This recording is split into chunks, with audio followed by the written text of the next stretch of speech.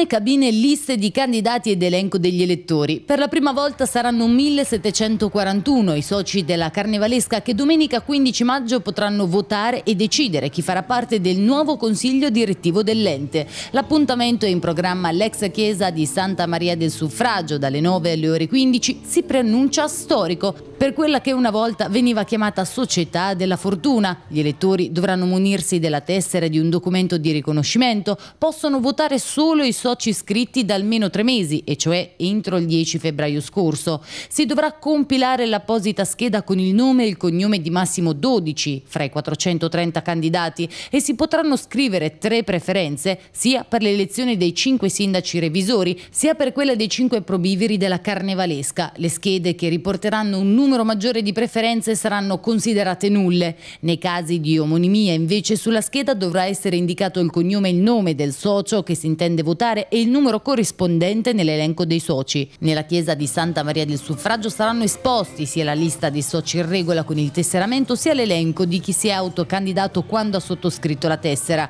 A seguire è previsto lo scrutinio che formalizzerà la lista di 18 candidati che avranno ottenuto più voti. La nuova presidenza poi sarà eletta durante la prima assemblea del nuovo consiglio direttivo.